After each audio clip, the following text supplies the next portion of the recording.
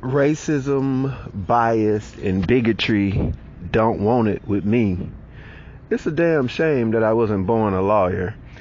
Um, CIA operative, former Marine Daniel Penny, went and either killed a homeless black man who was also an agent, or either an unexpected victim of a CIA agent killing him. And the reason why this CIA agent killed him is because the United States of America does not give a shit about people who fought for this country. And the two most neglected and abused people in society are number one, black people, and number two, people that fought for this country.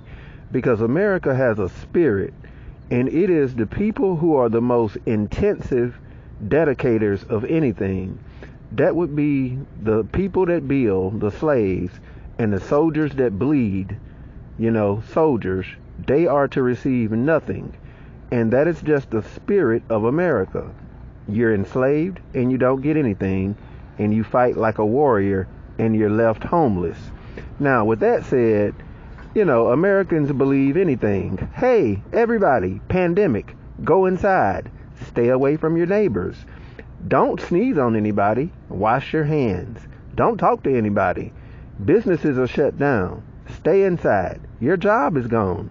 Po- possibly and if you don't take this shot, I'll kick you out in the streets and kick you out of your employment. And the shot, it doesn't cure anything, it doesn't solve anything, it doesn't stop you from spreading it, it doesn't do anything. Take it because I told you to. Okay, yes, Daddy, we are the U.S. citizens, and hey, you, you're making me sick. Uh huh, uh huh, uh huh. Put on your mask. That's the type of society that we are. So we will follow anything and believe anything.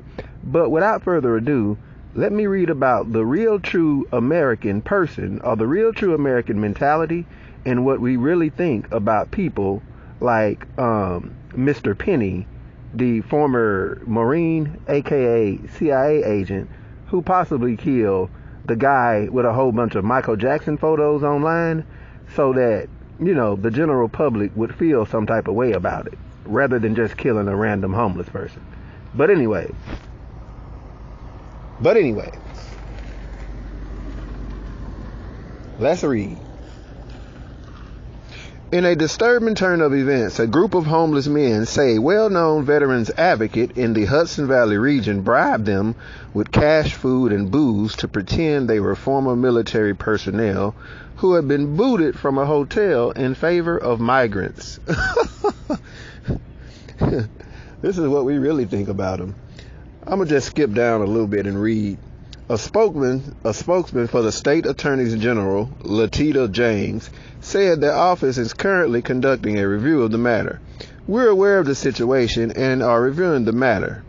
The lie was supposedly spearheaded by Sharon Toney Finch, a decorated military veteran and director of the Yerik Israel Toney Foundation. Interesting name who made headlines last week when she claimed she was forced to find the quote unquote vets accommodations after they were asked to leave the Crossroads Homeless Center to make room for new immigrant arrivals.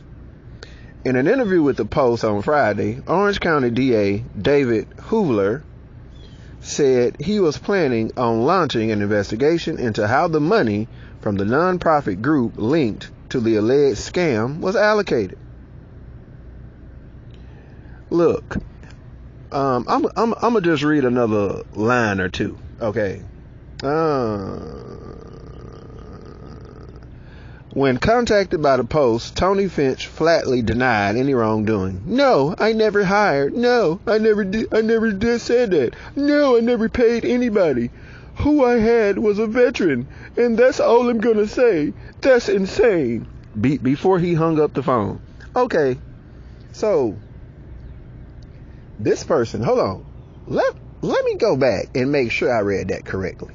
All right. Okay. Okay. Okay. Okay. Now, if I read that correctly,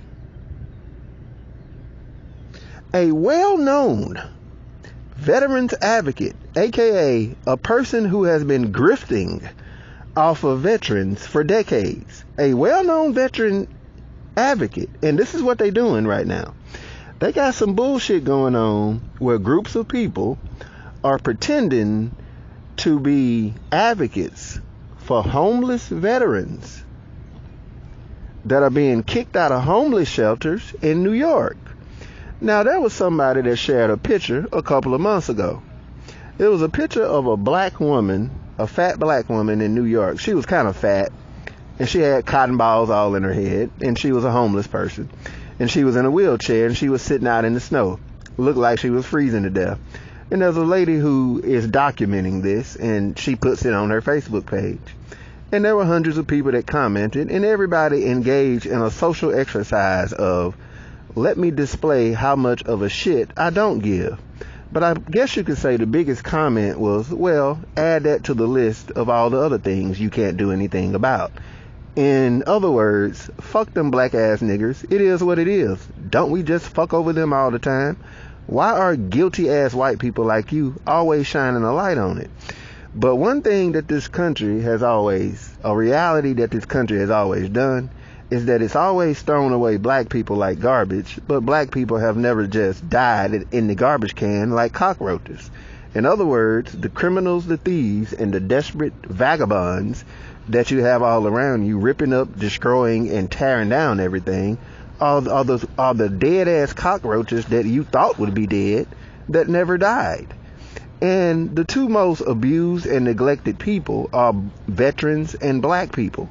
And those two people, those two groups in New York, are being kicked out of homeless shelters in exchange for immigrants who are taking the food that homeless shelter workers are giving them and throwing it in their face and saying, Bitch, I want caviar and shrimp.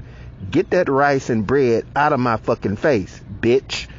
And, you know, this is the mentality that uh, they have. And there's not a doubt in my mind that the U.S. news media cooked up and generated.